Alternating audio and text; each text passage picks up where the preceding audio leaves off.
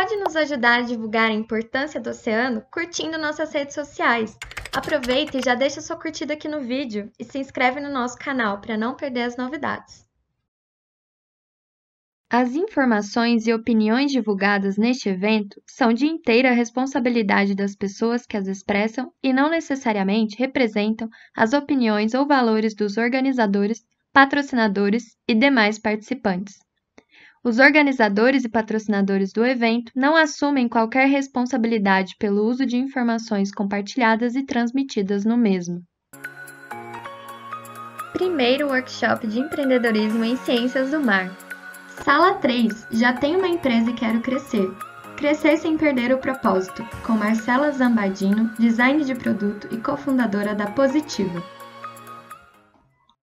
Boa noite a todas e todos. É, adorei essa recepção calorosa. Estou me sentindo super bem aqui com vocês. Espero que seja um papo muito gostoso e que todo mundo também se sinta bem é, com essa introdução maravilhosa que a Vitória fez. Adorei que vocês usam o Slido é, para a gente conseguir é, saber um pouquinho mais, né, quem está aqui na sala.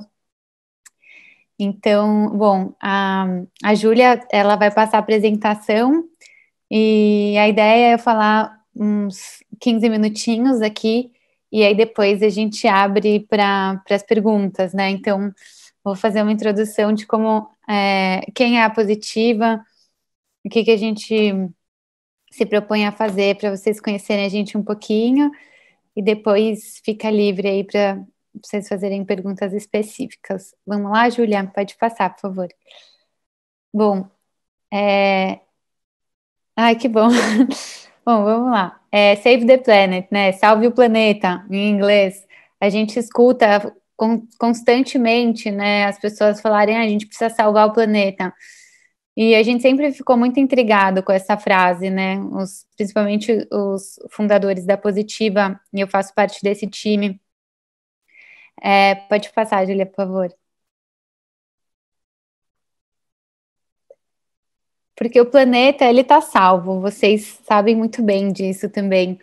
E ele vem se transformando e passando por ciclos há milhões de anos, e nós, humanos, essa espécie tão recente, cheia de potencial, que precisa de ajuda, né? Que precisa de ajuda para entender que a gente faz parte disso tudo e a gente não não existe sem isso tudo estar saudável, né? O jeito convencional de consumo, ele nos desconectou totalmente, né, do nosso meio que a gente vive. A gente é a única espécie que destrói o próprio ambiente, como se a gente não precisasse desse ambiente para sobreviver. E a ciência, como vocês bem sabem, é clara, né? A saúde e a prosperidade da humanidade estão diretamente ligadas ao estado do nosso meio ambiente. Não existe ser humano saudável num planeta doente, né? A positiva, então, é uma muito mais do que uma empresa, né? Ela é um convite a essa reconexão. É, ela é um convite para vocês lembrarem que a gente faz parte de um ecossistema incrível e evoluído, repleto de beleza e de abundância. E ela é um convite para lembrar que a gente é natureza também. Não existe a natureza, nós somos natureza.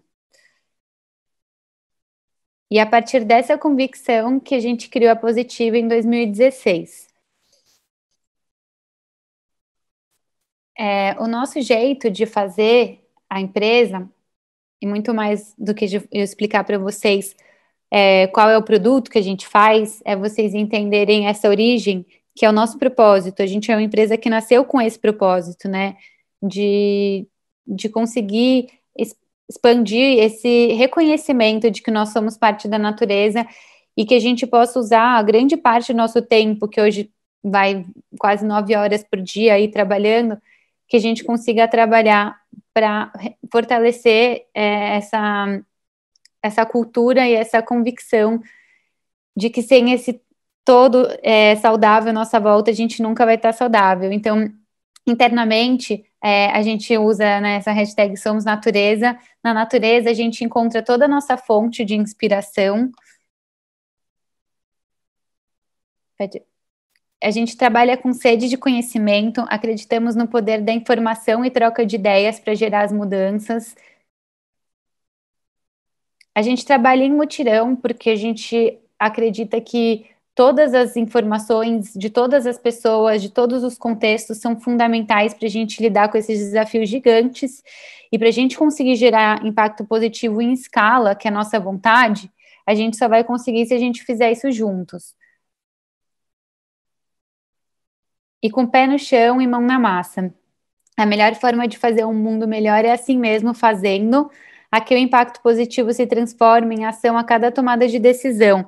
E aí esse ponto é super importante quando a gente fala de empreender, porque é, a gente naturalmente é incoerente, a gente vive um sistema incoerente. Então, quando você se propõe a fazer algo, é, às vezes você barra, você para ali e não começa, porque você não consegue começar da, da forma como você gostaria.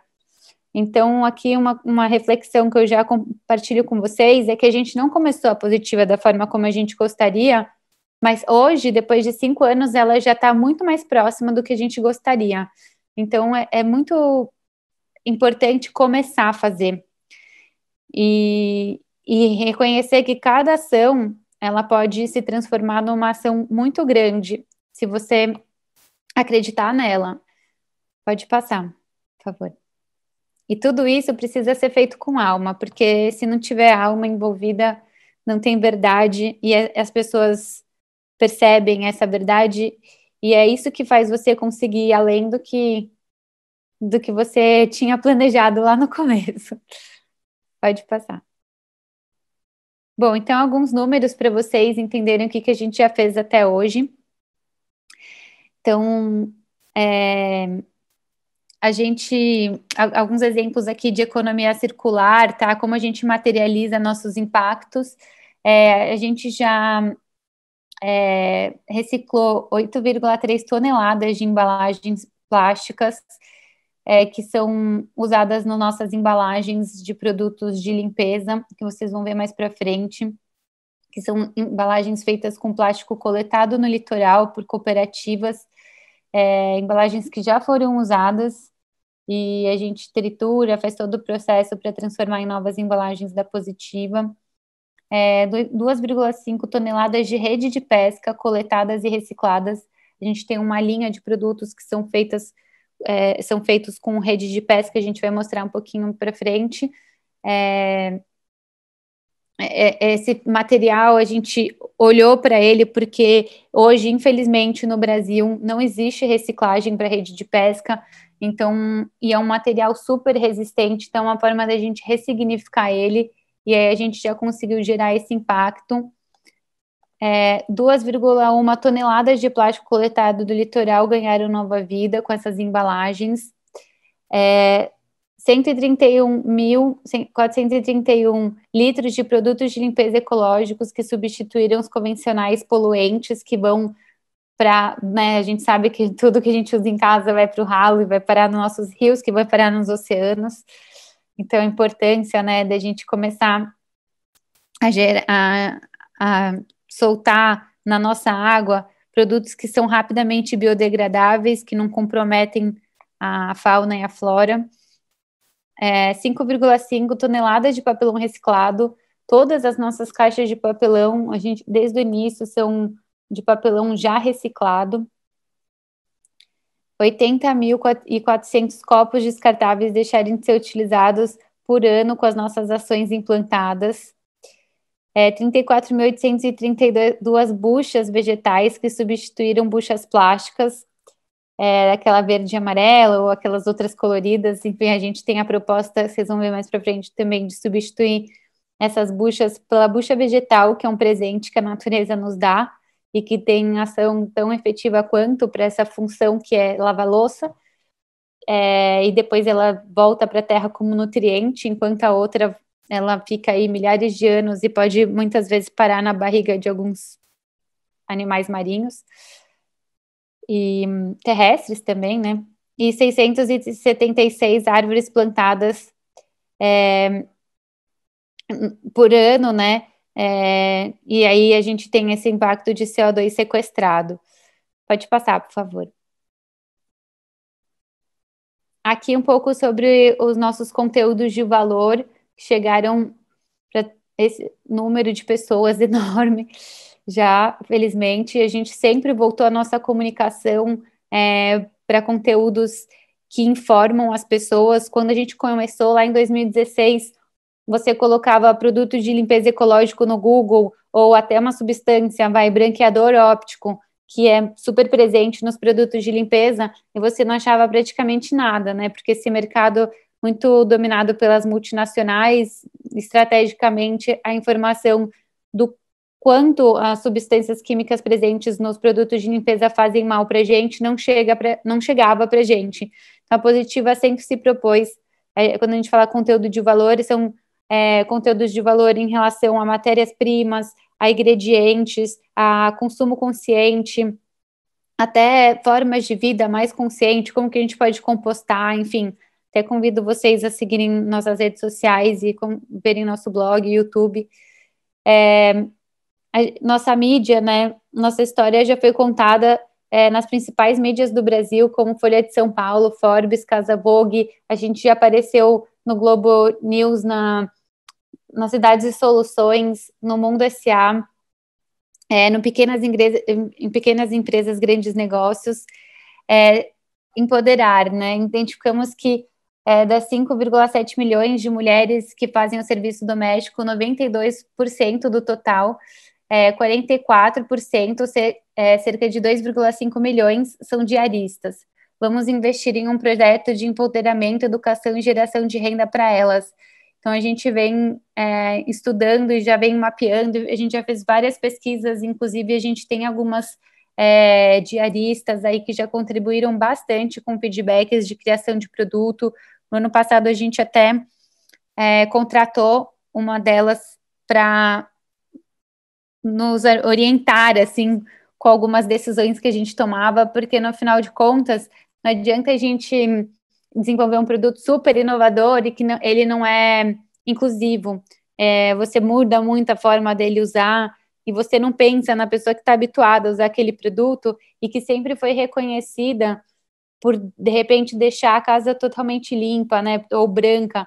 E aí você, é, com algumas é, questões nossas de inovação, é, não considera essas pessoas, isso é muito sério, né? Então a gente leva muito em conta é, essas profissionais que hoje, na grande maioria, como está dito aqui, são mulheres e responsáveis né, por grande parte da limpeza dos lares do Brasil.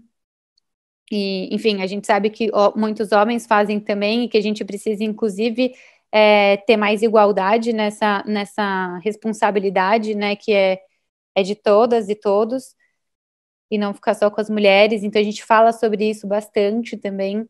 É, em nosso conteúdo, né, seguimos produzindo conteúdos relevantes no nosso blog, abordamos diversos assuntos como economia circular, consumo consciente e permacultura, como eu disse.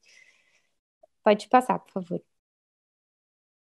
Em mutirão, a gente já fez, no ano de 2019, é, nove mutirões, com mais de 400 voluntários. A gente levava o pessoal para as praias e também a gente chegou a organizar na cidade de São Paulo é, mutirões de limpeza que a gente entendeu, a primeira vez que a gente fez foi com a nossa equipe, com a equipe da Bumera, que é uma parceira nossa, é, em transformar os frascos reciclados, né, coletados no litoral e reciclados em novos frascos, e aí a gente viu a potência que é você parar de falar, né, e levar as pessoas para irem lá ver o que, que é um cotonete na praia, o que, que é, é um copinho plástico que você vai pegar e ele esfarela na sua mão, a impotência que gera isso e a aflição que dá. E, e aí a gente fez a experiência no, nas praias, que a gente levava, lotava dois ônibus e levava no sábado de manhã, é, uma ação nossa de conscientização.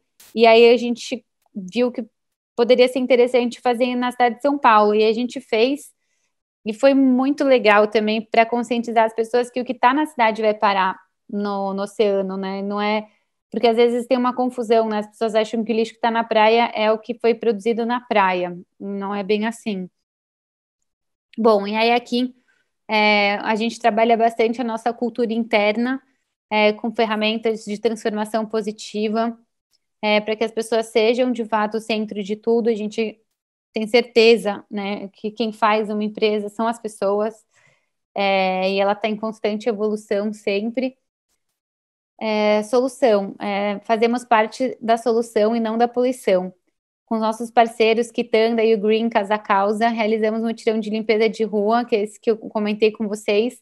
E aqui queria destacar que a U Green é uma empresa B também, é, que fica em São Paulo, é, bem perto do nosso centro de distribuição. Eles são uma cooperativa de reciclagem que fazem tanto a coleta dos nossos é, recicláveis do CD, é, que é o centro de distribuição, quanto também de alguns mercados que a gente vende nossos produtos, e aí a gente tem um contentor nesses mercados, e a gente tem uma lista também de 200 pontos é, de coleta pelo Brasil, que a gente indica para quem quer é, destinar as embalagens depois que elas acabam. Então, é uma forma da gente criar uma logística reversa, é, que até então foi, é o que a gente conseguiu oferecer de mais ecológico, porque receber, como a gente vende para todo o Brasil, receber essas embalagens de volta é, gera muito mais lixo do que a gente reciclar elas localmente. Então, a gente vem cada vez mais estudando é, essa responsabilidade que a gente tem com as embalagens que a gente gera. Pode passar, por favor. É, então, tem esse projeto Oceano Limpo, que 80% do, do lixo dos oceanos é plástico, vocês já sabem. Então, a gente criou essas embalagens circular PAC com a Bumera, é, para poder dar um destino para esses resíduos que estão nas cooperativas do litoral e fomentar que as cooperativas coletem os, os resíduos nas praias. É, cuidar, no futuro pretendemos expandir nosso portfólio de produtos lançando uma linha de autocuidado e higiene pessoal. Na verdade, a gente já lançou essa parte aqui pula e 300 mil é, de renda por ano para os pequenos produtores, que a gente já gerou é, que a gente gerou no ano de 2020, na verdade. Pode passar. Então, todos os nossos produtos, que vocês vão ver um pouquinho daqui a pouco, é, são baseados na economia circular. Quando a gente começou em 2015, é importante dizer que eu não conhecia esse termo, mas eu sempre olhei para a positiva, desculpa, para a natureza, é, para inspirar, para criar. Então, é, depois, lendo até um livro que eu recomendo muito, que é o Cradle to Cradle, em inglês, e do berço a berço, em português, é, eu fui entender esse termo economia circular e os ciclos técnicos e os ciclos biológicos, né? E na positiva, a gente tem produtos que é, respeitam esse ciclo biológico, que é tipo a bucha vegetal, que é um fruto, e aí ela depois que você usa, ela volta como nutriente para a terra. E a gente tem o esfregão de rede de pesca, que substitui aquelas esponjas convencionais, é, esfregões convencionais. E, e, ele respeita um ciclo técnico porque ele é um material plástico com alta durabilidade e aí você tem que dar uma nova vida para ele. Além disso, a economia circular está também nas escolhas que a gente faz de materiais para o escritório, quando a gente estava com o escritório físico, mas no CD, então a gente é, compra, é, os computadores são de, é, da recicladora urbana, por exemplo, que é uma empresa B certificada também, que é, pega todo esse lixo eletrônico que a gente vem produzindo em larga escala e transforma em máquinas, computadores ótimos para trabalhar. Então a gente compra também para nossa equipe essas peças. Então a economia circular é uma forma da gente pensar mesmo e tomar, ela tá, ela permeia qualquer tomada de decisão nossa. Pode passar, por favor. E a gente se propõe a ser uma empresa é, que oferece trocas positivas. Então, todo o nosso portfólio de produto, a gente começou com a linha de limpeza e recentemente a gente lançou a linha de autocuidado, que é higiene pessoal, mas todo o nosso portfólio, ele é um convite a mudar os velhos hábitos por atitudes mais transformadoras que somadas fazem muito.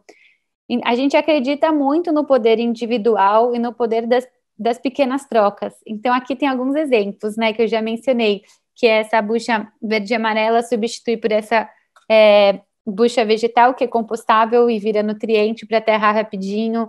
É, esse essa escova, né? Normalmente ela é importada da Ásia e ela é toda de plástico, ou tem algumas até que tem uma parte de madeira, enfim, mistura material super difícil de reciclar. E essas cerdas estragam rápido e aí o pessoal descarta, nem sabe como descartar direito, substituir por esse esfregão de rede de pesca que esfrega tão bem ou melhor, né? E, e aí também tem os saquinhos aqui feitos com rede de pesca, é, que é reutilizada, é, para substituir as sacolinhas que na hora de comprar legumes, verduras e até grãos maiores. E aí que é importante também destacar que a gente não faz nada disso sozinho, né? A gente tem fornecedores incríveis que a gente é, trabalha em rede, literalmente rede, não só as redes de pesca, mas em rede com esses parceiros é, por todo o Brasil e que acabam virando pessoas queridas próximas, além de fornecedores e a gente conta a história deles nos nossos rótulos. No verso dos nossos rótulos sempre vai a foto do produtor e um pouquinho da história dele. Pode passar.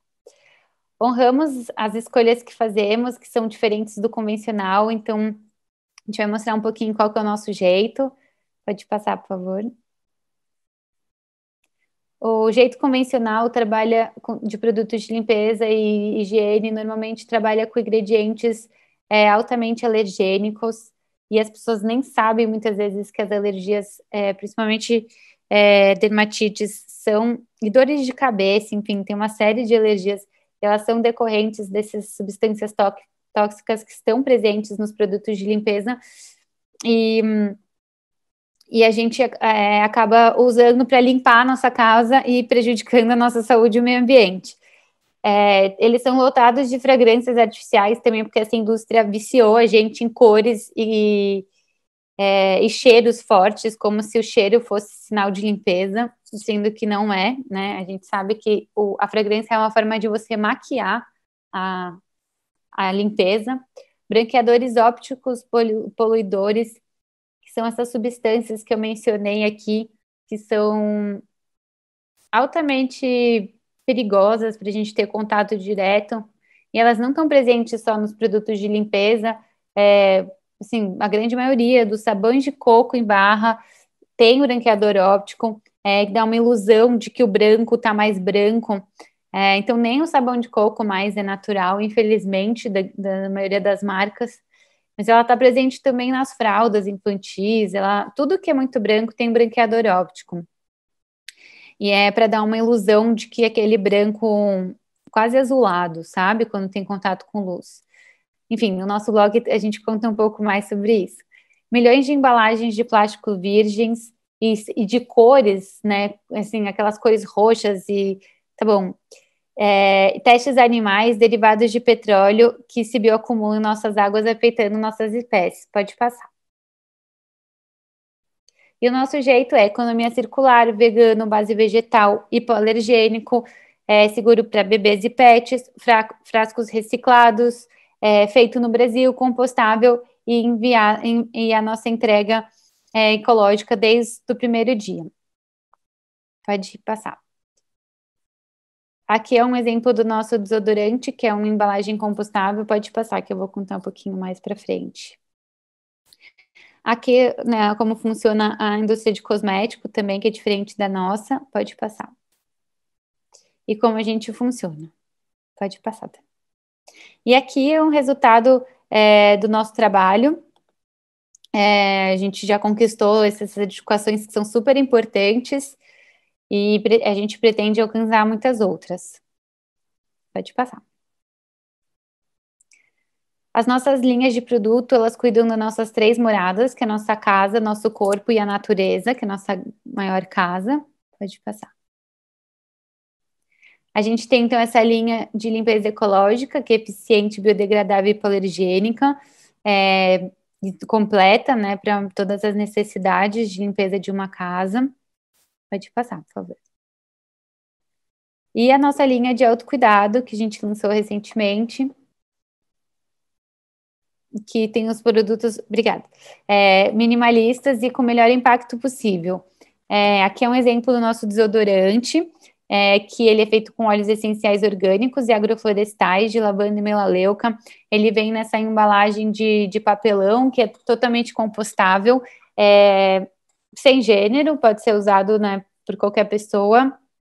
E, enfim, é a primeira embalagem compostável no Brasil para um item aí que dura em média três meses na casa das pessoas. Então, a gente vem sempre propondo essas, essas trocas positivas. Pode passar, por favor. Aqui, bucha vegetal, já falei, pode passar. O esfregão, que é feito né, com rede de pesca, que eu já mencionei também, pode passar. E os saquinhos também, que eu já contei um pouquinho, pode passar. E aqui, é, para a gente fechar é, um pouco do nosso crescimento, desde 2017, é, aqui vocês conseguem ver, então, quantas pessoas a gente está hoje, e como é que foi nosso crescimento é, de pessoas, time, né, produtos, transações e clientes. A gente tem muito orgulho de ser uma empresa B certificada é, desde 2017, ecologicamente responsável, que cresce todo ano, criando produtos e soluções para cuidar da nossa casa, do nosso corpo e do nosso planeta. Pode passar. E, bom, gostaria só de lembrar que o consumo de vocês é um manifesto, assim como o nosso voto, e agradecer a oportunidade de estar aqui com vocês e abrir aí para perguntas. Agradecimentos à palestrante Marcela Zambardino, à equipe de Libras Amandala, aos patrocinadores Ocean Pact, Activas e DAO.